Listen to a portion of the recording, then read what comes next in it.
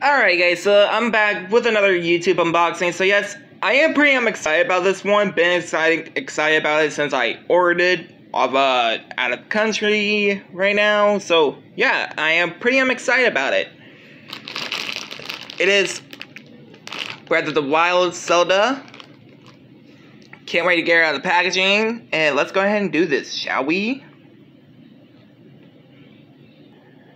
Okay guys, so here she is out of the bag. So what's pretty cool about this is that, that I got Link to, had him since May of last year.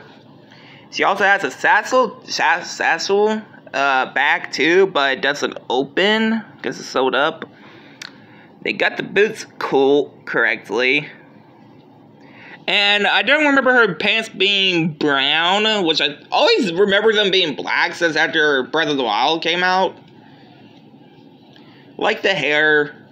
I wish he could make another plushie version of Zelda with the short uh, Breath of the Wild 2. So, um, yeah, here's the tag. Uh, it doesn't have a number on it, on it or nothing, so, yeah. Um, anyway, guys, hope you guys like, comment, subscribe.